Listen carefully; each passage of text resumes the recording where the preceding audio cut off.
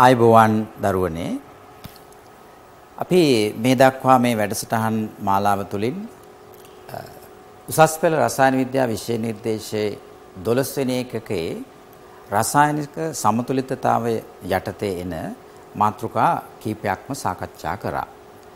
මම මේ දූල පුතාලගෙන් මේ වෙලාවේ ඉල්ලා සිටිනවා ඒ කලින් සාකච්ඡා කරපු කොටස්වල ප්‍රධාන කරුණු නැවත මතක් කරගන්න.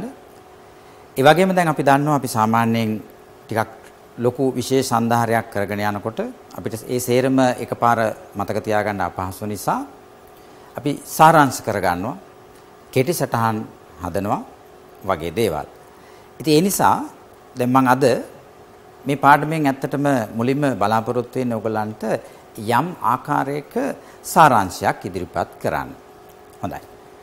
පුතාලට මතක ඇති අපි කලින් පාඩම් කීපයකදීම වැඩිපුරම අවධානය යොමු කරපු මාතෘකාවක් තමයි සමතුලිතතා ලක්ෂ්‍ය සමතුලිතතා ලක්ෂ්‍ය වෙනස් වන ආකාරය සමතුලිතතා ලක්ෂ්‍ය කෙරෙහි බලපාන සාධක එතකොට ඒ සාධකවල බලපෑම අපි විවිධ විවිධ ආකාරයෙන් පැහැදිලි කරගත්තා. එතකොට ඒ සම්බන්ධව මම හිතනවා ඔයගොල්ලෝ ගාව යම් සාරාංශයක් මේ වෙනකොට ගොඩනගාගෙන ඇති. එතකොට අදත් මම සාකච්ඡා කරන්න බලාපොරොත්තු වෙන්නේ සමතුලිතතා ලක්ෂයේ වෙනස් වීම පැහැදිලි කර ගැනීම සඳහා ඇත්තටම කියනවා නම් එක්තරා ආකාරයක පොඩි සාරාංශයක් කෙටියෙන් කොහොමද අපි සමතුලිතතා ලක්ෂය වෙනස් වෙන්නේ කොහොමද කියන එක බලන්නේ. හොඳයි. ඒ සඳහා ඇත්තටම ඉදිරිපත් වෙලා තියෙන සාරාංශය තමයි අපි ඒක හඳුන්වනවා ලේ චටලිය මූලධර්මය කියලා. ඔයගලන්ට දැන් මේ තිරේ බලා ගන්න පුළුවන් සම්පත් පොතේ ඉදිරිපත් කරලා තියෙන ලේ චටලිය මූලධර්මය. එතකොට මොකද්ද මේ ලේ චටලිය මූලධර්මයෙන් ප්‍රකාශ වන කාරණය? ගතික සමතුලිතතාවයේ පවතින යම් පද්ධතියකට කිසියම් බාහිර බලපෑමක් ඇති කරපුවාම. දැන් දුල පුතාලා දන්නවා අපිට කොහොමද ගතික සමතුලිත පද්ධතියකට බාහිරින් බලපෑමක් කරන්න පුළුවන්? කොහොමද මොනවද අපිට වෙනස් කරන්න පුළුවන්? සාන්ද්‍රණය වෙනස් කරන්න පුළුවන්? උෂ්ණත්වය වෙනස් කරන්න පුළුවන්? වායුමය පද්ධතියක් නම් පීඩනය වෙනස් කිරීම මගින් බාහිර බලපෑමක් ඇති කරන්න පුළුවන් එතකොට මේ ලේචැටලිය මුල් ධර්මයෙන් ප්‍රකාශ වෙන්නේ අපි මේ බාහිර බලපෑමක් ඇති කරපුවාම පද්ධතිය විසින් ඒ බලපෑම අවම කරගනු පිණිස ක්‍රියා කරනවා. එහෙම නැත්නම් ඒ බලපෑමට එරෙහිවන පිණිස ක්‍රියා කරනවා. එමගින් නව ගතික සමතුලිතතා ලක්ෂයක් ඇති කර ගන්නවා. හොඳයි. අපි එහෙමනම් බලමු.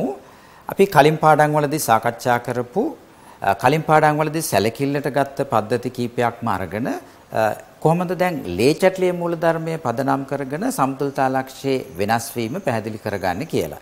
එතකොට දරුවනේ ඔයගලන්ට මතක ඇති අපි සාන්ද්‍රණයේ බලපෑම පැහැදිලි කිරීම සඳහා යොදාගත්තේ ෆෙරික් සහ තයෝසයනේට් අයන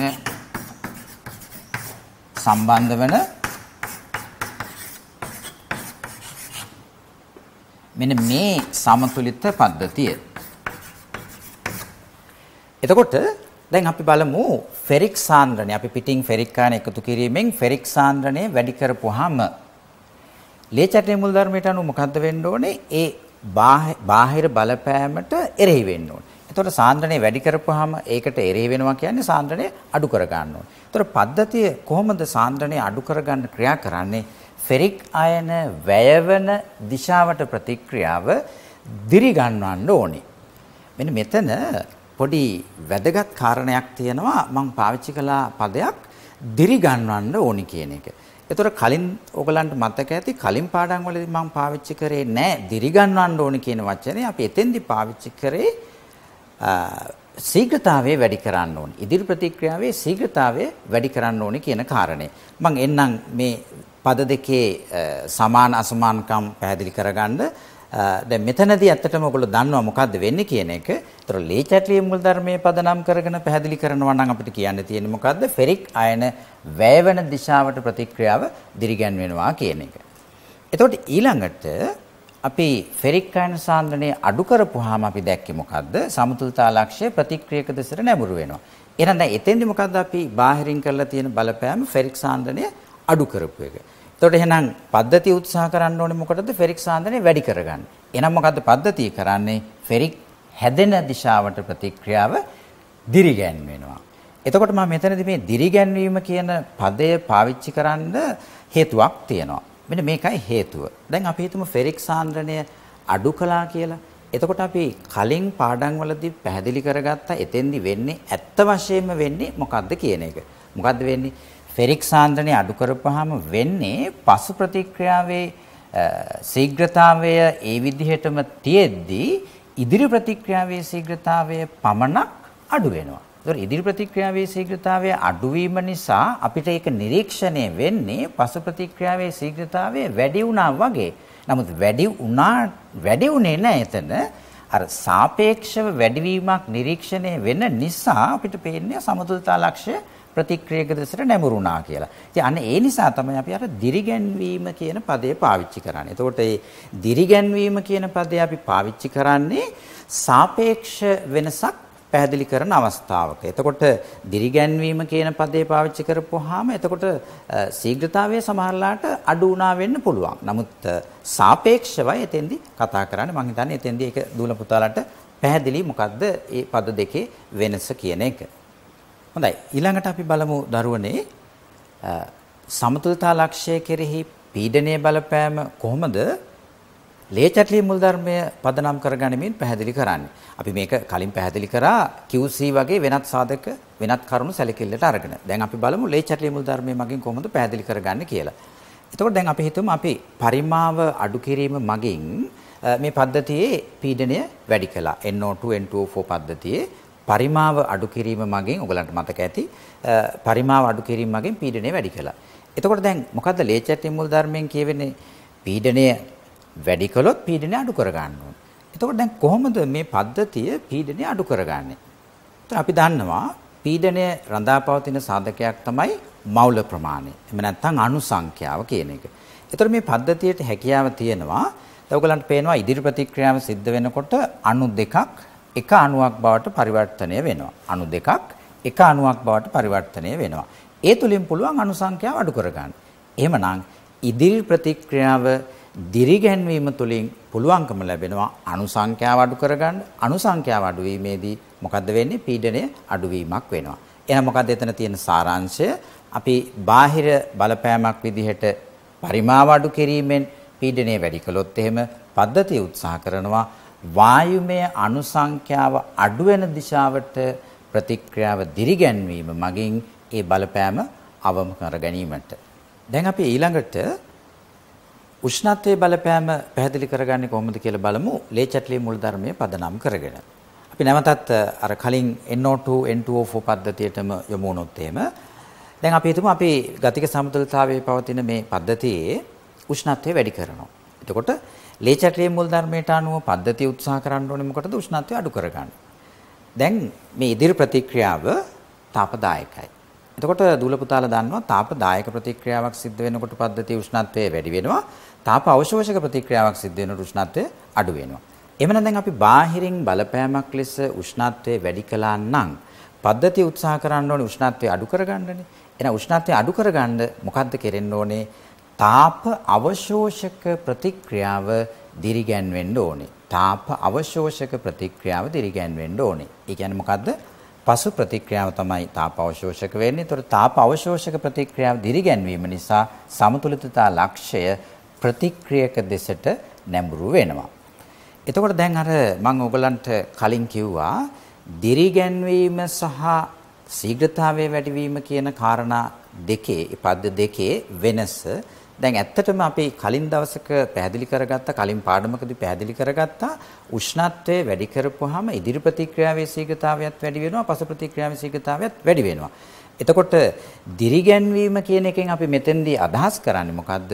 මෙතන ඉදිරි ප්‍රතික්‍රියාවට සාපේක්ෂව පසු ප්‍රතික්‍රියාව වැඩි ප්‍රමාණයකින් වැඩි ප්‍රතිශතයකින් වැඩි වෙනවා කියන එක. එතකොට ඒක අපි හඳුන්වන්නේ මොකක් කියලාද? දිරිගැන්වීමක් ලෙස.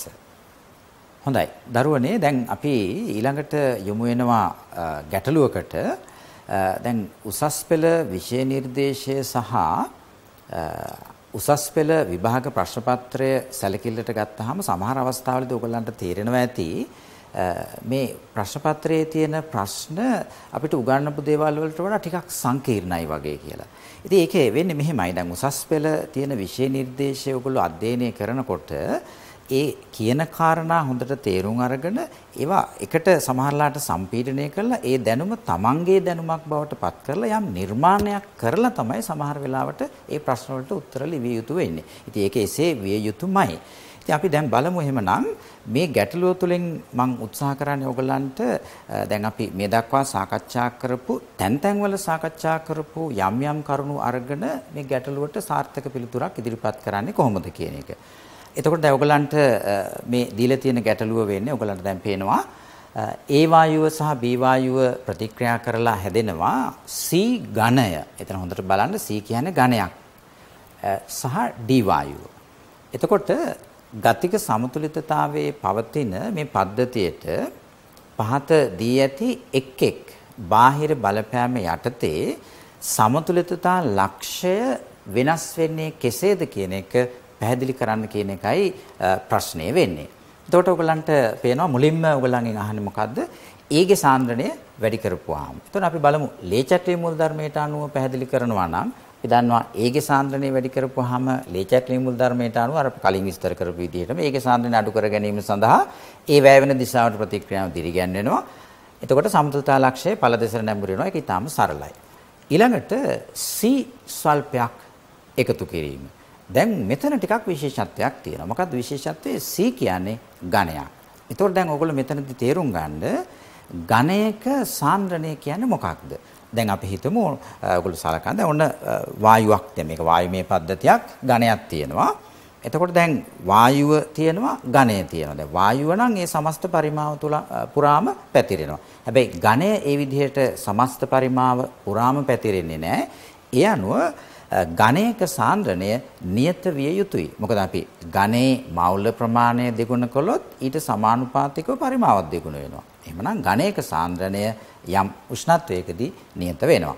එතකොට එහෙමනම් ඝණය ස්වල්පයක් එකතු කරා කියලා සාන්ද්‍රණයේ වෙනසක් සිද්ධ වෙන්නේ නැහැ. ඒ කියන්නේ සමතුලිතතා ලක්ෂයේ වෙනසක් එහෙමනම් මෙතනදී සිද්ධ වෙන විදිහක් නැහැ. හොඳයි. අපි ඊළඟට යමු යමු ඊළඟ කොටස. ඒක කියන්නේ B ගේ සාන්ද්‍රණය අඩු කරනවා. ඉතින් ඒකත් සරල කාරණයක්. B ගේ සාන්ද්‍රණය අඩු කරපුවාම සාන්ද්‍රණය වැඩි කර ගැනීම සඳහා ඒ කියන්නේ බලපෑමට එරෙහි වන පරිදි B සෑදෙන පසු ප්‍රතික්‍රියාව දිරිගැන්වෙනවා. සමතුලිතතා ලක්ෂ්‍ය ප්‍රතික්‍රියක දෙසට නැඹුරු වෙනවා. ඉතින් ඒක ඊටාම සරල කාරණයක්. නමුත් මට මෙතනදී ඔයගොල්ලන්ට ඔයගොල්ලන්ගේ අවධානය යොමු කරන්න අවශ්‍ය එක වැදගත් කාරණයකට මොකක්ද? මෙතන B ගේ සාන්ද්‍රණය අඩු කරපුවාම ඒගේ සාන්ද්‍රණයට මොකද වෙන්නේ? දැන් අපි කලින් සාකච්ඡා කරපු කොටස් වලින් ඔයගොල්ලන්ට සමහර විට වැරදි අවබෝධයක් ගියා වෙන්න පුළුවන්.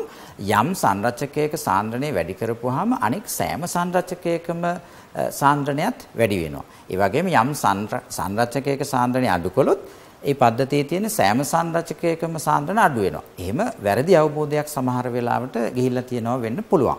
දැන් බලන්න මෙතනදී B ගේ සාන්ද්‍රණය අඩු කරපුවාම මොකද්ද වෙන්නේ? සමතුලිතතා ලක්ෂ්‍ය ප්‍රතික්‍රියක දෙසට නැඹුරු වෙනවා.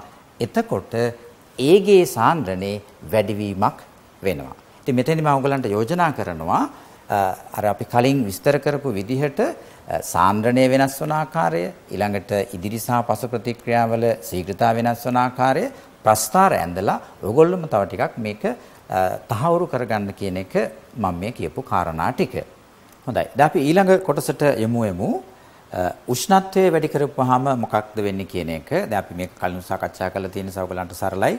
එතකොට උෂ්ණත්වය වැඩි කරපුවාම ලේචැටලි මුල් ධර්මයට අනුව උෂ්ණත්වය අඩු කර ගැනීම සඳහා තාප අවශෝෂක ප්‍රතික්‍රියාව සිදුවිය යුතුයි. එතකොට ඉදිරි ප්‍රතික්‍රියාව තාපදායක නිසා පසු ප්‍රතික්‍රියාව තමයි තාප අවශෝෂක වෙන්නේ. එhmenan මෙතනදී සමතුලිතතා ලක්ෂය ප්‍රතික්‍රියක දෙසට නැඹුරු වෙනවා. ඒකේ ගැටලුවක් නැහැ. ඊළඟට අපි බලමු පරිමාව අඩු කිරීම මගින් පීඩනය වැඩි කරපුවාම මොකද්ද වෙන්නේ? ඉතින් ඔයගොල්ලෝ දන්නවා ගතික සමතුලිතතාවය පවතින පද්ධතියක පීඩනය වැඩි කරපුවාම ලේචක්‍රීය මුල් ධර්මයට අනුව හැමතිස්සෙම වායුමය අංශු සංඛ්‍යාව අඩුවන දිශාවට දිරිගැන්වීමෙන් පීඩනය අඩු කරගන්න උත්සාහ කරනවා. මෙන්න මෙතනදී අපි හරියට අවධානය යොමු කරේ නැත්නම් දුවේ පුතේ ඔයගොල්ලන්ගේ අතින් පොඩි පටලැවිල්ලක් පොඩි වැරදීමක් වෙන්න පුළුවන්. අපි බලමු දැන් මේ එක පාට බැලු බැලමට අපිට පේනවා ප්‍රතික්‍රියක පැත්තේ 2 1 3ක් තියෙනවා.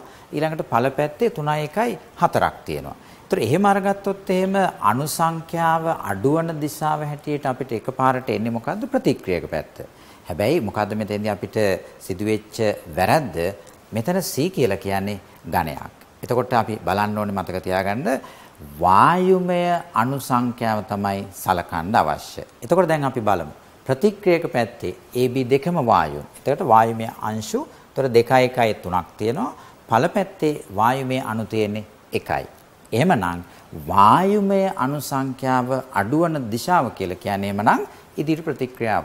එතකොට අපි පීඩනය වැඩි කළොත් කොහොමද පරිමාව අඩු කිරීමෙන් පීඩනය වැඩි කළොත් එහෙම සමතුලිත ලක්ෂ්‍ය නැඹුරු විය යුතු වෙන්නේ වායුමය අංශු සංඛ්‍යාව අඩු වෙන ඉදිරි දිශාවට එහෙම නැත්නම් සමතුලිත ලක්ෂ්‍ය ගමන් කරනවා ඵල දෙසට.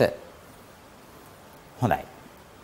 අපි ඊළඟට යමු වෙනවා ඊ타ත්ම වැදගත් කොටසකට මොකද්ද ඊළඟට ඔයගොල්ලන්ට කියන්නේ උෂ්ණත්වය සහ පරිමාව වෙනස් නොකර නියතව තබා ගනිමින් නිෂ්ක්‍රීය වායුවක් හීලියම් වගේ නිෂ්ක්‍රීය වායුවක් එකතු කරනවා කියලා.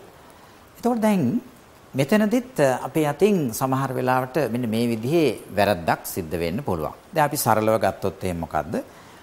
පරිමාව නියතනම් උෂ්ණත්වයේ නියතනම් අපි වෙනත් වායුවක් එකතු කරලා හෝ මවුල ප්‍රමාණය වැඩි කරොත් එහෙම පද්ධතියේ සමස්ත පීඩනය වැඩි වෙනවා. එතකොට අපි ඒ තරම් අවබෝධයක් නැතුව නිකාම්ම ලේචට්ලිය මූල ධර්මය මෙතෙන්ට යොදන්න ගියොත් එහෙම එතකොට ලේචට්ලිය මූල ධර්මයෙන් කියන්නේ මොකද්ද? අපි බලපෑමක් කරොත් බලපෑම අවම කරගන්න උත්සාහ කරනවා. එතකොට මොකද්ද අපි කරන බලපෑම? සමස්ත පීඩනය වැඩි කරනවා. එහෙනම් ආපහු අපිට හිතෙනවා පීඩනය අඩු කර ගැනීම සඳහා වායුමය අංශු සංඛ්‍යාව අඩුවන දිශාවට ප්‍රතික්‍රියාව දිරිගැන්වෙයි කියලා. හැබැයි දුවේ පුතේ මෙතන ලේ චැටලිය මූල ධර්මය පමණක් අපි ඒ විදිහට අපි කියන්නේ නිකන් අන්ධ විදිහට ඒ තරම් අවබෝධයක් නැතුව යොදන්න ගියොත් එහෙම අපේ අතින් වරදක් වෙනවා. දැන් මේ බලන්න. උෂ්ණත්වයයි පරිමාවයි වෙනස් කරන්නේ නැත්නම් මේ සමතුලිත ප්‍රතික්‍රියාවට සහභාගී වන කිසිදු සංරචකයක ආංශික පීඩන වෙනස් වෙන්නේ නැහැ. සාන්ද්‍රණ වෙනස් වෙන්නේ නැහැ. එහෙමනම් අපි නිෂ්ක්‍රීය වායුවක් එකතු කළා කියලා ඉදිරි ප්‍රතික්‍රියාවේ ශීඝ්‍රතාවය වෙනස් වෙන්න විදිහකුත් නැහැ. පසු ප්‍රතික්‍රියාවේ ශීඝ්‍රතාවය වෙනස් වෙන්න විදිහකුත් නැහැ.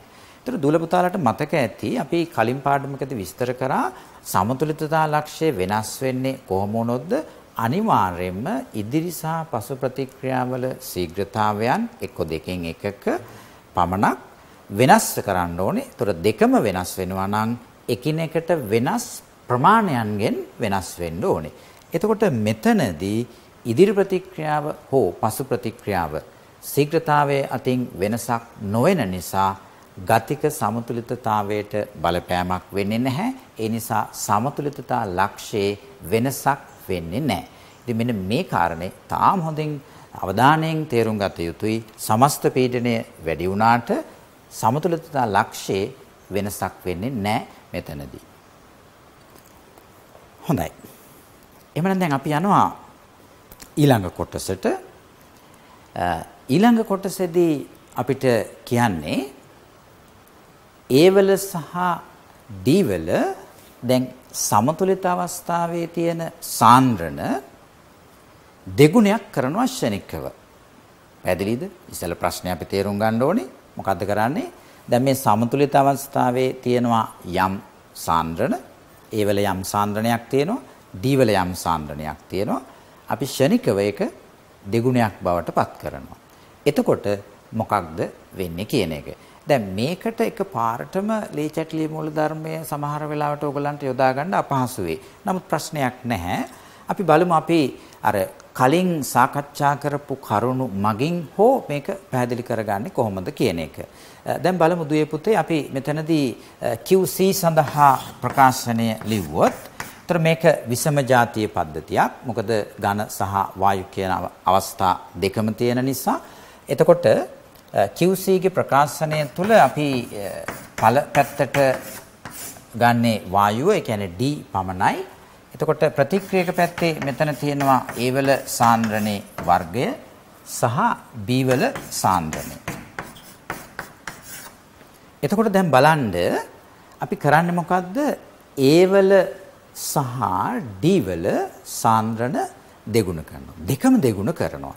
එතකොට බලන්න දැන් මේ ඉරෙන් උඩ පදය මෙන්න මේ කොටස අපි දෙකෙන් වැඩි කරනවා. දැන් ඒ වල සාන්ද්‍රණය දෙගුණ කරපුවාම ඒක වර්ග වෙලා තමයි මෙතෙන්ට බලපාන්නේ. එතකොට දෙගුණේ වර්ග වුණාම එතකොට එතන හතරක් වෙනවා. එහෙමනම් යටපදේ වැඩි වෙන්නේ හතරෙන්. එතකොට දැන් මොකද්ද වෙන්නේ? අන්තිමට වැඩි වෙලා තියෙන්නේ භාගයෙන්. ඒ කියන්නේ QC අගය දැන් කලින් සමතුලිත නිසා KC වලට සමාන වෙලා තිබුණේ. එතකොට දැන් අපි දන්නවා KC වෙනස් වෙන්නේ නැහැ නේ අපි උෂ්ණත්වය වෙනස් කරේ නැහැනේ. එහෙමනම් දැන් මෙතෙන්දි මොකද්ද වෙලා තියෙන්නේ QC අඩු වුණා. ඒතර QC අඩු වුණා නම් නැවතත් අපි දන්නවා QC ආපහු කලින් KCට සමාන කර ගැනීම සඳහා සමාන වන පරිදි මොකද්ද වෙන්න ඕනේ මේ උඩ පදේ වැඩි වෙන්න ඕනේ යට පදේ අඩු වෙන්න ඕනේ. එහෙමනම් ඉදිරි ප්‍රතික්‍රියාව දිරිගැන් වෙලා සමතුලිතතා ලක්ෂ්‍ය ඵල දෙසට නැඹුරු විය යුතුයි. පැහැදිලිද? එහෙමනම් දැන් ඕගොල්ලන්ට මෙතනින් යම් සාරාංශයක් ගොඩනගා ගන්න පුළුවන්. ඒතර මෙතනදී අපි සාන්ද්‍රණ එකම ආකාරයකට වෙනස් කරේ. නමුත් මේ සමතුලිතතාවයට වෙනස් ආකාර වලින් බලපෑවේ. ඒතර මොකද්ද ඒකට හේතු උනේ මේ ස්ටොයිකියෝමෙට්‍රික සංගුණකවල වෙනස. හොඳයි. එහෙනම් දරුවනේ අපි ඊළඟ කොටසට යමු යමු. ඊළඟට ඔයගොල්ලන්ගෙන් අහන්නේ උත්ප්‍රේරකයක් එකතු කරපුවාම. එතකොට දැන් මේ උත්ප්‍රේරක සම්බන්ධයෙන් ඔයගොල්ලෝ චාලක විද්‍යාව යටතේ ගොඩාක් කරුණු ඉගෙනගෙන ඇති. ඒතර අපි සරලව ගත්තොත් උත්ප්‍රේරකයක් මගින් මොකද්ද කරන්නේ? ප්‍රතික්‍රියාවක ශීඝ්‍රතාවය වැඩි කරනවා. එතකොට දැන් මේ විදිහේ සමතුලිත පද්ධතියකට උත්ප්‍රේරකයක් දැම්මහම මොකද්ද වෙන්නේ? ඔයගොල්ලෝ දන්නවා ඉදිරි ප්‍රතික්‍රියාවේ ශීඝ්‍රතාවයත් වැඩි වෙනවා පසු ප්‍රතික්‍රියාවේ ශීඝ්‍රතාවයත් වැඩි වෙනවා. හැබැයි මෙතන තියෙනවා ලොකු වෙනසක්. දැන් අපි උෂ්ණත්වය වැඩි කරත් අපි කිව්වා ඉදිරි ප්‍රතික්‍රියාවේ ශීඝ්‍රතාවයත් වැඩි වෙනවා පසු ප්‍රතික්‍රියාවේ ශීඝ්‍රතාවයත් වැඩි වෙනවා කියලා. හැබැයි එතනදී අපි මොකද්ද කිව්වේ? හැම තිස්සෙම තාප අවශෝෂක ප්‍රතික්‍රියාවේ ශීඝ්‍රතාවය වැඩි වෙනවා තාපදායක ප්‍රතික්‍රියාවේ ශීඝ්‍රතාවයට වඩා වැඩි ප්‍රතිශතයකින්. හැබැයි මෙතන උත්ප්‍රේරකයක් එකතු කරපුවාම මොකද්ද සිද්ධ වෙන්නේ? ඉදිරි ප්‍රතික්‍රියාවේ ශීඝ්‍රතාවය සහ පසු ප්‍රතික්‍රියාවේ ශීඝ්‍රතාවය එකම අනුපාතයකට වැඩි වෙනවා. එකම ප්‍රතිශතයකින් වැඩි වෙනවා. එහෙමනම් මොකද්ද වෙන්නේ මෙතනදී සමතුලිතතාවයට බලපෑමක් ඇති වෙන්නේ නැහැ.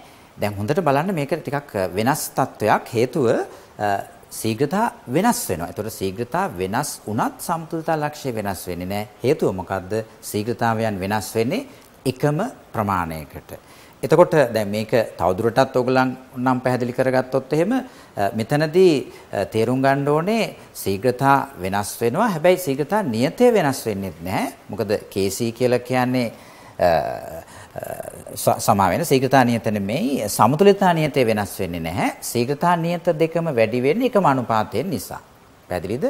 ශීඝ්‍රතා නියත දෙකම වැඩි වෙන්නේ එකම අනුපාතයකින් නිසා සමතුලිතතා නියතය වෙනස් වෙන්නේ නැහැ. එතකොට සමතුලිතතා ලක්ෂ්‍ය වෙනස් වෙන්නේත් නැහැ. සමතුලිතතා නියතය වෙනස් වෙන්නේත් නැහැ. හොඳයි. එහෙනම් දැන් දුවේ පුතේ ඔයගලන්ට යම් අවබෝධයක් ලැබුණා. එතකොට අර සරල කරුණු නොවන විදිහට ඔයගලන්ගෙන් යම් යම් ආකාරවලට ප්‍රශ්න කරලා තිබුණොත් එහෙම ලේචැටේ මූල ධර්මයේ නිකාම ඔහේ අර යොදනවට වඩා යම් අවබෝධයක් සහිතව ලේචැටේ මූල ධර්මය යෙදුවොත් එහෙම අර පැටලෙන්නේ නැති විදිහට ඔයගලන්ට නිගමනය කරන්න පුළුවන්. එතකොට ලේචැටේ මූල ධර්මය කියන්නේ යම් ආකාරයක සාරාංශයක්. එතකොට ඒ සාරාංශයත් ඔයගොල්ලෝ දැනගන්න ඕනේ. ඒ වගේම QC එහෙම නැත්නම් චාලක විද්‍යාවේ තියෙන මූලධර්ම පාවිච්චි කරලා සමතුලිතතා ලක්ෂ්‍ය වෙනස් වන ආකාරය පැහැදිලි කර ගැනීමටත් ඔගලන්ට හැකියාව තිබිය යුතුයි. හොඳයි දුවේ පුතේ අපි දැන් ඊළඟට බලමු අපි මේ ඉගෙනගත්ත කරුණු කොයි විදිහටද විභාග ප්‍රශ්න පත්‍ර තුල පහුගිය විභාග ප්‍රශ්න පත්‍ර තුල යෙදිලා තියෙන්නේ. එතකොට ඒකෙන් ඔයගලන්ට පුළුවන් යම් ආත්ම විශ්වාසයක් ගොඩනගා ගන්න අපි මේ ඉගෙනගත්ත කරුණු වලින් විභාගයට කොයිතරම් සාර්ථකව මුහුණ දෙන්න පුළුවන්ද කියලා. එතකොට මම ඔයගලන්ගේ අවධානය යොමු කරනවා 2016 උසස් පෙළ රසායන විද්‍යා ප්‍රශ්න පත්‍රයේ පළමු ප්‍රශ්න පත්‍රයේ 22 වෙනි ප්‍රශ්නය. එතකොට මේ ප්‍රශ්නේ දීලා තියෙනවා මෙන්න මේ ගතික සමතුලිත පද්ධතිය දීලා ඔයගලගෙන් අහන්නේ උෂ්ණත්වයේ නියතව තබා ගනිමින් මේ පද්ධතියේ පරිමාව වැඩි කරපුවාම. උෂ්ණත්වයේ නියතව තබා ගනිමින් පද්ධතියේ පරිමාව වැඩි කරපුවාම. එතකොට අපිට උත්තරවල දීලා තියෙනවා ඉදිරි ප්‍රතික්‍රියාවේ ශීඝ්‍රතාවයට මොකද වෙන්නේ? පසු ප්‍රතික්‍රියාවේ ශීඝ්‍රතාවයට මොකද වෙන්නේ කියන එක. එතකොට දැන් මම මෙතනදී ඔයගොල්ලන්ගේ අවධානය යොමු කරන්න උත්සාහ කරන්නේ දැන් අපි ඉගෙන ගත්තේ වායුමය පද්ධතියක පරිමාව වෙනස් කිරීමෙන් පීඩනය වෙනස් කරනකොට වායුමය අංශු සංඛ්‍යාවේ සිදුවන වෙනස පදනම් කරගෙන සමතුලිතතා ලක්ෂයේ වෙනස් වීම එහෙම නැත්නම් ප්‍රතික්‍රියාවල ඉදිරි ප්‍රතික්‍රියා සහ පසු ප්‍රතික්‍රියාවල ශීඝ්‍රතාවයන් වෙනස් වන ආකාරය තේරුම් කරගන්න. දැන් මෙන්න මේ වගේ සමහර වෙලාවට අපිට අභියෝග විභාගෙදී හම්බ වෙනවා. දැන් බලන්න මේකේ තියෙන අභියෝගය මොකද්ද? ප්‍රතික්‍රියක පැත්තේ තියෙනවා වායුමය අංශු තුනක්, ඵල සමාවෙන්න හතරක් තියෙනවා. ඵල පැත්තේ තියෙනවා වායුමය අංශු හතරක්. දැන් එතකොට අපි ඉගෙනගෙන ආවේ විභාගයට එනකොට ඉගෙනගෙන ආවේ වායුමය අංශු සංඛ්‍යාවේ වෙනස පදනම් කරගෙන තීරණය කරන්න නම් දැන් අපි මෙතනදී ලොකු ගැටලුවකට මුහුණ දෙනවා. මොකද මේ අපිට දීලා තියෙන රසායනික ප්‍රතික්‍රියාවේ වායුමය අංශු සංඛ්‍යාවේ වෙනසක් සිද්ධ වෙන්නේ නැහැ. ඉතින් අන්න ඒ වගේ වෙලාවක අපි අපි ළඟ හොඳ දැනුමක් තියෙනවා නම් අවබෝධයක් තියෙනවා නම් නිකන් උඩින් කටපාඩම් කිරීම කියන එකට තව එහා ගිය අවබෝධයක් තියෙනවා නම් අපි ගැටලුවකට මුහුණ දෙන්නේ නැහැ. එතකොට මේ ප්‍රශ්නයට උත්තරේ ගැනීම පමණක්ම නෙවෙයි මම මේකේ තියෙන වටපිටාව පොඩ්ඩක් කතා කරේ. ඒත් එක්කම එතකොට දැන් එහෙමනම් අපි මෙතන සමතුලිතතා ලක්ෂයේ වෙනස් වීම කියන කාරණයට අපි යොමු වුණොත් එහෙම මේක එතකොට සමතුලිතතා ලක්ෂයේ වෙනස් වීමක් සිද්ධ වෙන්නේ නැහැ. නමුත් දැන් මේ ප්‍රශ්නය තුල අපෙන් අහන්නේ සමතුලිතතා ලක්ෂයේ වෙනස් වීමක් ගැන නෙමෙයි ඉදිරි ප්‍රතික්‍රියාවේ සහ පසු ප්‍රතික්‍රියාවේ ශීඝ්‍රතාවයන් වල සිදුවන වෙනස.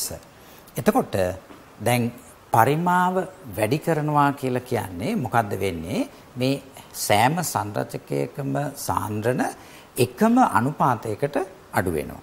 එතකොට දැන් මේකේ මේ ස්ටොයිකියෝමිතික සංගුණක දෙපැත්තේ සමානව තියෙන නිසා ඉදිරි ප්‍රතික්‍රියාවට සහ පසු ප්‍රතික්‍රියාවට එකම ආකාරයට තමයි ඒ බාහිර බලපෑම බලපාන්නේ. ඉතින් අනේ ඒ නිසා මේ ඉදිරි සහ පසු ප්‍රතික්‍රියාවල ශීඝ්‍රතාවයන් එකම ආකාරයකට තමයි වෙනස් වෙන්නේ. එතකොට දැන් මොකද්ද සිදුවන වෙනස?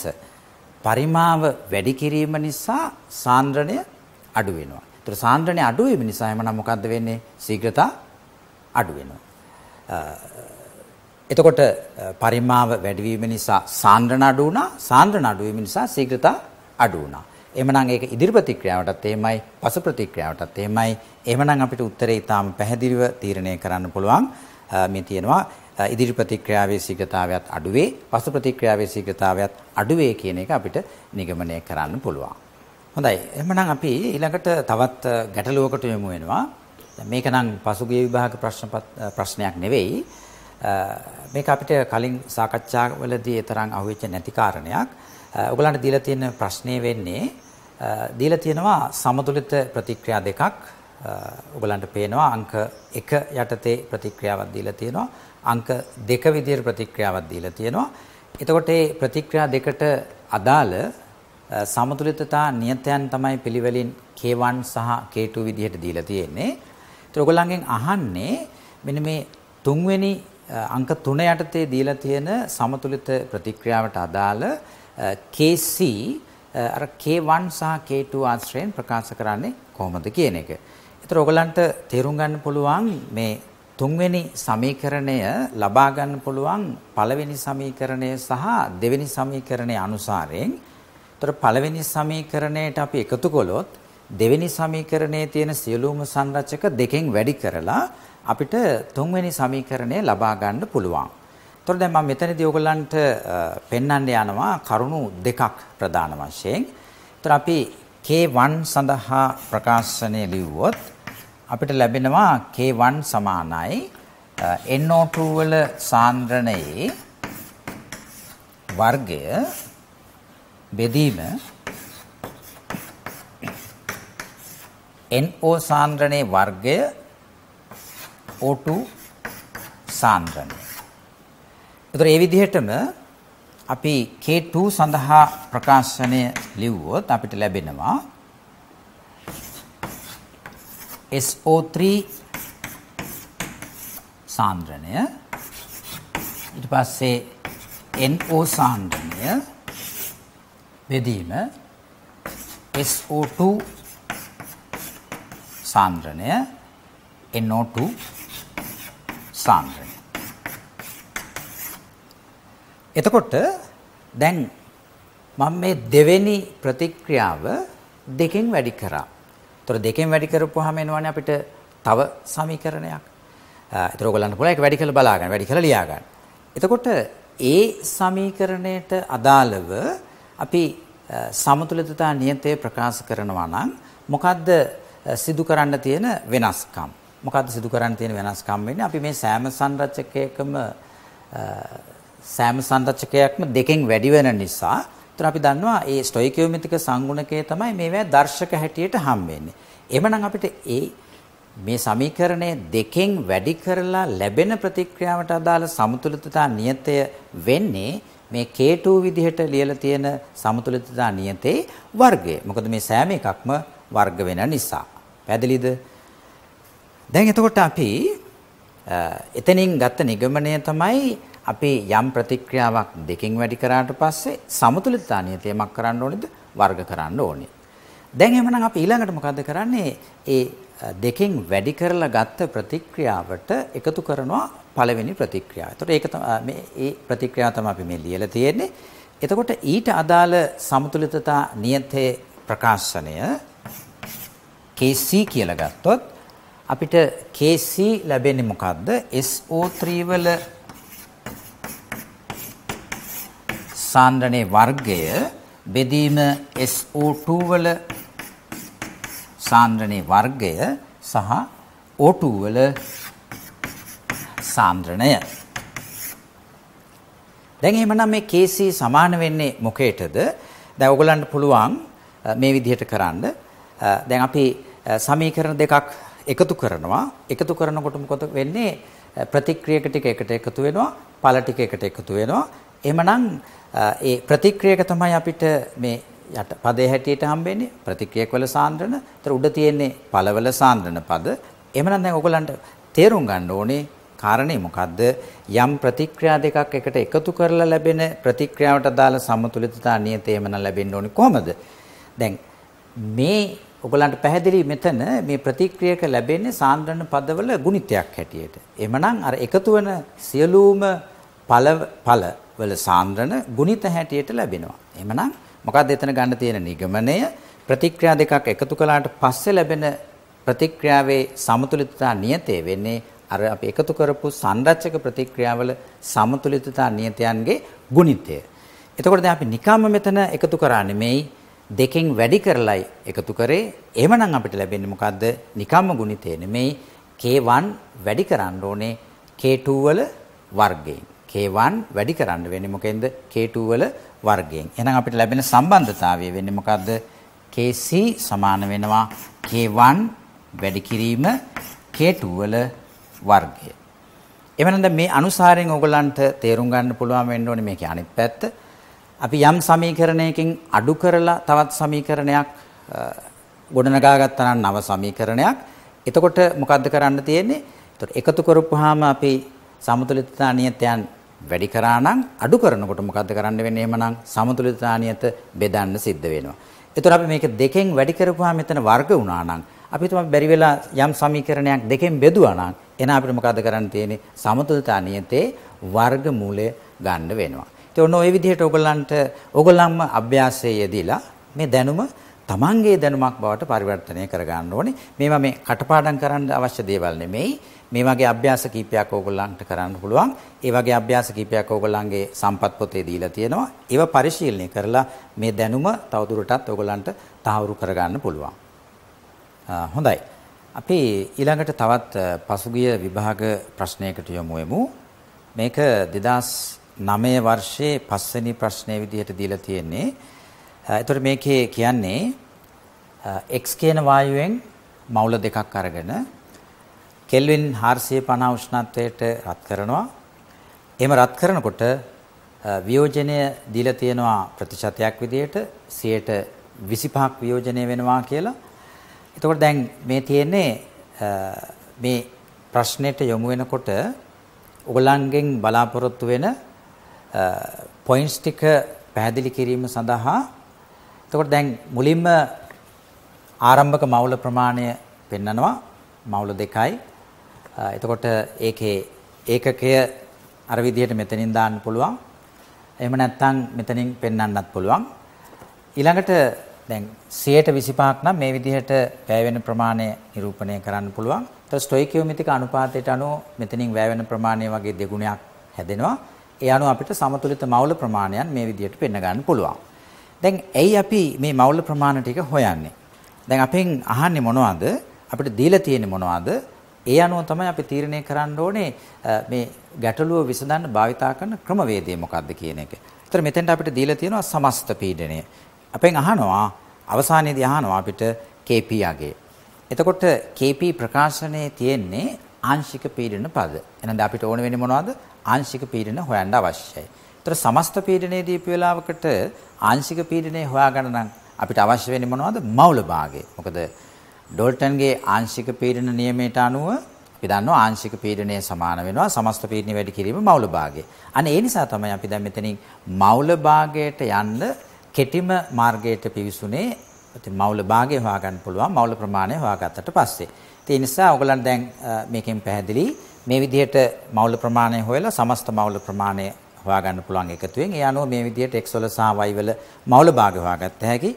දැන් අපි මෙතෙන්දි කරලා තියෙන්නේ සමස්ත පීඩනය p විදිහට අරගෙන ආදේශ කරලා තියෙනවා. එතකොට අපි සංකේතයක් විදිහට ආදේශ කරනකොට මෙතෙන්ට ඒකකයක් ආදේශ කරන්න අවශ්‍යතාවයක් නැහැ. හැබැයි අපි අගය දීලා තියෙන අගය ආදේශ කරා නම් එහෙම මෙතන ඒකකය අනිවාර්යෙන් දාන්න වෙනවා. මොකද හේතුව ඔයගොල්ලෝ ලකුණු දීමේ පටිපාටියක් මාංග ස්කීමයක් අරගෙන බැලුවොත් එහෙම ඒකෙදී යම් යම් පියවර සඳහා ලකුණු වෙන් කරලා තියෙනවා. ඉතින් ඒකේ ලකුණු වෙන් කිරීම උනත් සමහරලාට අවුරුද්දෙන් අවුරුද්ද වෙනස් වෙන්න පුළුවන්. ඒ නිසා ඔයගොල්ලෝ මේ මාගේ ස්කීම් පරිශීලනය කරනවා නම් එහෙම හැම තිස්සෙම හිතන්න එපා මේ මේ විදිහටම තිබිය යුතුයි කියලා. දැන් මේ ගැටලුව වුණත් හදන්න සමහරලාට වෙනත් ක්‍රම තියෙන්න පුළුවන්. දැන් කවුරු හරි කෙනෙක් මෙතන P වෙනුවට ආදේශ කරා වෙන්න පුළුවන් දීලා තියෙන සමස්ත පීඩනය. ඒක ප්‍රශ්නයක් නැහැ. මේ මාගේ ස්කීම් එකේ තියෙන විදිහටම කරන්න අවශ්‍ය නැහැ. එකම දේ මොකද්ද? අපි අගයක් ආදේශ කරනවා නම් ඒකකය ආදේශ කරන්න වෙනවා. ඒතර මේ විදිහට කරපු කෙනෙකුට මෙතන P සඳහා දීලා තියෙන අගය ආදේශ කරාට පස්සේ අන්තිමට සුළු කරන්න පුළුවන් KP වලගේ එතකොට අපිට ලැබෙනවා 1.6 වැඩි කිරීම 10.5යි වර්ග මීටරයට නිව්ටන් එහෙම නැත්නම් පැස්කල් කියලා. එතකොට එතෙන්දිත් ඔයගොල්ලන් මාගේ ස්කීම් එකක් අරගෙන බැලුවොත් ඔයගොල්ලන්ට පේන්නේ හැමතිස්සෙම මේ අගය සඳහා යම් ලකුණු ප්‍රමාණයක් වෙන් කරලා තියෙනවා ඒකකයේ සඳහා යම් ලකුණු ප්‍රමාණයක් වෙන් කරලා තියෙනවා. හොඳයි. දැන් ඊට පස්සේ අපිට තවත් කොටසක් මේකේ දීලා තියෙනවා. දැන් අපි ඊළඟට යමු යමු ඒ කොටසට කොයි විදිහටද පිළිතුරු ලියන්නේ කියලා. හොඳයි. දැන් ඊළඟට ඒ ගානේ දෙවෙනි කොටස කියන්නේ පද්ධති උෂ්ණත්වය කෙල්වින් 600 දක්වා වැඩි කරපුවාම අර කලින් තිබ්බ සමතුලිතතාවයට අමතරව y z දක්වා වියෝජනය වීම නිසා තවත් ගතික සමතුලිතතාවයක් ඇති වෙනවා කියලා. එතකොට අපිට අවශ්‍ය නම් මේක ඒ ප්‍රශ්නේ දීලා තියෙන විදිහට මේ විදිහට ලියා ගන්නත් පුළුවන්. එහෙම නැත්නම් මේක සමීකරණ දෙකක් විදිහට කඩලා වෙන වෙනම ලියන්නත් පුළුවන්. ඒකේ ප්‍රශ්නයක් නැහැ. එතකොට අපෙන් පළවෙනියට අහනවා මෙන්න මේ දත්තයන් දෙක දීලා මොකද්ද කියන්නේ y සමග දැන් y අනිවාර්යෙන් තියෙනවා y සමග x වල මවුල එකක් සහ z වල මවුල 0.5. ඒතර x වල මවුල එකයි Z වල මවුල දශම 5යි. එතකොට අපෙන් පළවෙනි කොටස අහන්නේ මේකේ y වල මවුල ප්‍රමාණය කීයද කියන එක. ඒත් අපි බලමු දැන් කොහොමද එහෙමනම් y වල මවුල ප්‍රමාණය අපි හොයන්නේ. එතකොට Z වල මවුල දශම 5ක් හැදෙනකොට මෙතන වියෝජනය දෙකට එක අනුපාතයට සිද්ධ වෙලා තියෙන්නේ. එමනම් y වලින් ඒ වගේ දෙගුණයක් වියෝජනය වෙලා තියෙනවා. y වල එතකොට යම් ප්‍රමාණයක් හැදුනා. දශම පහ වගේ දෙගුණයක් වියෝජනය වුණා. ඒ කියන්නේ එකක් මෙතනින් අයින් වෙන්න අවශ්‍යයි. ඒ වගේම මෙතන මවුල දෙකක් ආරම්භයේ තිබුණා. ඒතර මෙතන මවුල එකක් දැන් ඉතුරු වෙලා තියෙන්නේ. ඒතර එහෙමනම් මවුල එකක් වියෝජනය වෙලා තියෙනවා. එහෙමනම් එතකොට ඒ වගේ දෙගුණයක් මෙතන හැදෙනවා. ඒ කියන්නේ මවුල දෙකක් හැදෙනවා. දැන් අපි කලින් තීරණය කරා දශම පහ වගේ දෙගුණයක් ඒ කියන්නේ මවුල එකක් මෙතනින් වියෝජනය විය යුතුයි කියලා. එහෙමනම් මෙතන ඉතුරු වෙන y ගේ මවුල ප්‍රමාණය වෙන්නේ මවුල එකක්. දැන් ඊළඟ කොටසේ අපෙන් අහනවා මේ සමතුලිතතාවයේදී xy z වල මවුල භාග. ඒක නම් ගැටලුවක් නෑ. දැන් මුළු මවුල ප්‍රමාණය මවුල 1යි මවුල 1යි දශම 5යි. එතකොට මවුල 2.5යි. එතකොට මවුල භාග ටික පහසුවෙන් හොයාගන්න පුළුවන්. එක බෙදීම 2.5 එක බෙදීම 2.5 දශම 5 බෙදීම 2.5 දැන් මෙතනදෙත් ඔයගොල්ලන්ගේ අවධානය යොමු කරන්න ඕනේ. දැන් මෞල භාගය කියලා අපි ලිව්වහම අපි හිතමු මෙතන x වල මෞල භාගය කියලා. එතකොට සමහර වෙලාවෙදී විභාගයේදී බොහෝ අවස්ථාවලදී ඇත්තටම දැන් මෞල භාගය හොයනකොට දැන් අපි මෙතන 1යි මුළු මෞල ප්‍රමාණය 2.5යි මෙහෙම ලිව්වොත් සමහර විට යම් ලකුණු ප්‍රමාණයක් අහිමි වෙන්න පුළුවන්. මොකද මෙතන 1 කියන්නේ මොනවද? මෞල එතකොට මෙතන 2.5 කියන්නේ ඒකත් මවුල. ඉතින් අර මෙතන මවුල ආදේශ කරන්න අවශ්‍ය නැහැ කැපිලා යනවනේ කියලා. එහෙම එකක් නෑ. අපි ආදේශ කරනකොට ඒකකයේ සමග ආදේශ කරනවා. පස්සේ උත්තරේට ඒකකයක් එන්නේ නැහැ. ඒක හරි. හොඳයි. ඊළඟට පුතේ අපෙන් අහන්නේ මේ සමතුලිත පද්ධතියේ මුළු පීඩනය මොකක්ද කියන එක. දැන් එතකොට අපි ප්‍රශ්නයක් අහනකොට අපි දීලා තියෙන දත්තයන්ට අනුවනේ ඒ ප්‍රශ්නෙට උත්තරේ ලබා ගන්න ක්‍රමවේදය තීරණය කරන්න වෙන්නේ. එතකොට දැන් මුළු පීඩනය හොයන්න අපි දන්න දේවල් මොනවද? දැන් මේ අවස්ථාවේ අපි දන්නවා මේ එක් එක් සංරචකයේ සමතුලිත මවුල ප්‍රමාණ දන්නවා. ඒ කියන්නේ සමතුලිත සමස්ත පීඩනය අහන්නේ. ඒතකොට සමස්ත මවුල ප්‍රමාණය දන්නවා. n දන්නවා.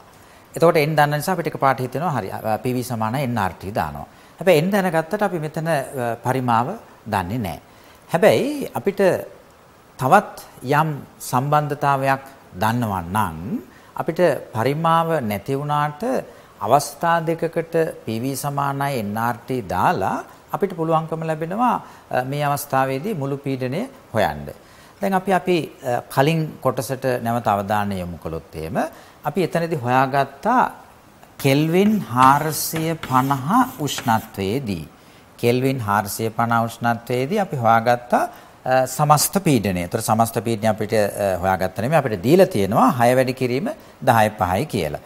එතකොට ඒ වෙලාවේ අපි මවුල ප්‍රමාණයත් හොයාගත්ත මුළු මවුල ප්‍රමාණය මවුල 2.5යි කියලා.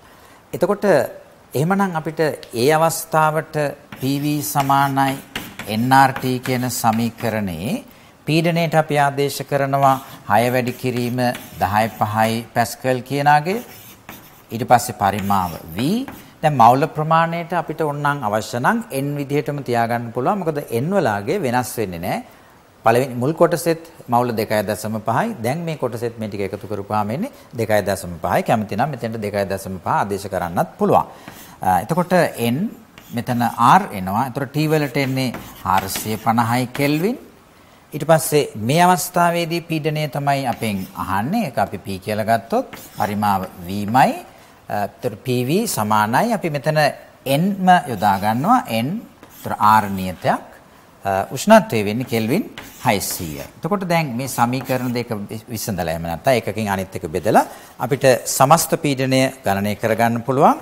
එතකොට අපිට ලැබෙනවා සමස්ත පීඩනය. ඒ කියන්නේ අපෙන් අහන ඒ ප්‍රශ්නෙට උත්තරය හම්බෙනවා. එතකොට ඒක අපිට හම්බෙනවා 8 වැඩි කිරීම 10 5යි පැස්කල් කියලා. හොඳයි. ඊළඟට අපෙන් අහන්නේ මෙන්න මේ සමතුලිතතාවය x හා y අතර සිදුවන සමතුලිතතාවය පමණක් සලකලා ඒ සමතුලිතතාවයට අදාළ සමතුලිතතා නියතය ගණනය කරන්න කියලා. එතකොට අපිට මෙතෙන්දි ගණනය කරන්න වෙන්නේ KP. එතකොට දැන් මේ සමතුලිත අවස්ථාවේදී තියෙන මවුල ප්‍රමාණ අපි කලින් කොටසදී හොයාගෙන තිබුණා. මෙයාගෙන් මවුල 1යි, මෙයාගෙන් මවුල 1යි. එතකොට දැන් අපි කලින් කොටසේ ආපහු හොයාගත්ත සමස්ත පීඩනය එමනම් මේ KP සඳහා ප්‍රකාශනය ලිව්වහම අපිට හම්බෙන්නේ y වල ආංශික පීඩනයේ වර්ගය බෙදීම x වල ආංශික පීඩනය. එතකොට දැන් අපි සමස්ත පීඩනය දන්නවා මවුල ප්‍රමාණ දන්න නිසා මවුල භාගය හොයාගන්න පුළුවන්. එතකොට අපි සමස්ත පීඩනය මෙතනත් p කියලා ගත්තොත් p වැඩි කිරීම මවුල භාගය තමයි මෙතෙන්ට එන්නේ. මෙන්න මෙතනදී දුවේ පුතේ ඔයගොල්ලන්ගේ අතින් සමහර වෙලාවට පොඩි වරදක් සිද්ධ වෙන්න පුළුවන්. මොකද්ද? දැන් අපිට මෙතෙන්ති පේන්න තියෙන්නේ මවුල දෙකයි. ඒතර ඔයගොල්ලන්ට හිතෙන්න පුළුවන් හරි. එහෙමනම් මවුල භාග වෙන්නේ දෙකෙන් එකයි දෙකෙන් එකයි කියලා. නෑ. නමුත් අපි මෙතනදී අපේ අවධානය යොමු කරේ මේ සමතුලිතතාවයට විතරක් වුණාට මේ පද්ධතියේ තව තියෙනවා තවත් වායුවක් තියෙනවා. ඉසෙඩ් වායුව තියෙනවා. ඒ නිසා මවුල භාගය අපි ගන්නකොට ඒ ඉසෙඩ් වල මවුල ප්‍රමාණයත් සලකලා තමයි මුළු මවුල ප්‍රමාණය ගන්න වෙන්නේ. මොකද හේතුව අපි පීඩනය ගණනය කරගත්තේ ඉසෙඩ් වල ආංශික පීඩනයත් ඇතුළත් කරලා. එමනම් මවුල භාගය ගන්නකොටත් ඉසෙඩ් වල මවුල ප්‍රමාණය සලකලා තමයි මුළු මවුල ප්‍රමාණය තීරණය කරන්න වෙන්නේ. ඒතර මුළු මවුල ප්‍රමාණය වෙන්නේ 2.5. ඒතර 2.5න් 1 කියලා ඕනනම් තියන්න පුළුවන්. එහෙම නැත්නම් 5න් 2 කියලා තියන්න පුළුවන්. එතකොට මේකේ වර්ගය එනවා. එතකොට මෙතනත් සමස්ත පීඩනය ඒකමයි. මවුල භාගයත් ඒකමයි. ඒ අනුව මේක සුළු කරලා අපිට p වලට කලින් හොයාගත්තාගේ 8 වැඩි කිරීම 10 5 පැස්කල් කියන එක ආදේශ කරලා අපිට මෙතනදී kp සඳහා අගයක් ලබා ගන්න පුළුවන්. ඒතර අපිට මෙතනදී kp ලැබෙනවා 3.2 වැඩි කිරීම 10 5 පැස්කල් කියලා.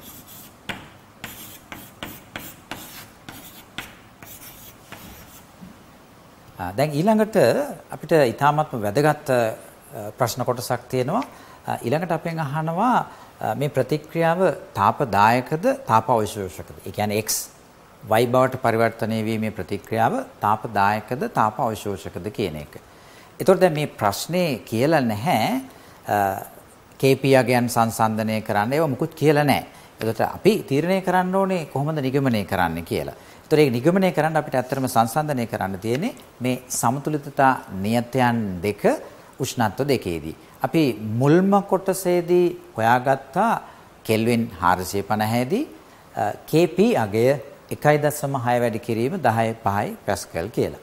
ඊළඟට දැන් අවසානයේදී අපි හොයාගත්තා කෙල්වින් 600 දී 3.2 වැඩි කිරීම 10 5යි පැස්කල් දක්වා සමතුලිතතා නියතේ අගය වැඩි වෙලා තියෙනවා. ඒ කියන්නේ උෂ්ණත්වය වැඩි කිරීමත් සමග සමතුලිතතා නියතය වැඩි වෙලා තියෙනවා. ඒතර අපි ඒක කොහොමද පැහැදිලි කරගන්නේ? ඒක පැහැදිලි කරගන්න පුළුවන් ක්‍රම දෙකක් තියෙනවා. සරලවම ගත්තොත් එහෙම අපිට කියන්න පුළුවන් හරි සමතුලිතතා නියතය එහෙමනම් වැඩි උනේ ඵල ප්‍රමාණය වැඩි වුණා ප්‍රතික්‍රියක ප්‍රමාණය අඩු වුණා කියලා. එහෙමනම් උෂ්ණත්වය වැඩිවීමත් සමග ඉදිරි ප්‍රතික්‍රියාව දිරිගැන්වුණා කියලා අපිට සලකන්න පුළුවන්.